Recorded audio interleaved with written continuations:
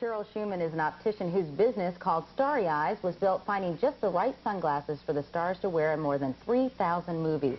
And she's here this morning to show us this year's shades of the season. Good Hi, morning. nice to see you, Nice Cheryl. to see you Joan and. Al are going to give us a little bit of help. So what is Starry Eyes all about? You, they say we want a certain look, and you say this will be the Mm-hmm. perfect sunglass for this movie? Right. I'm a licensed optician with the State Medical Board of California, but I work much the same as a costume designer does.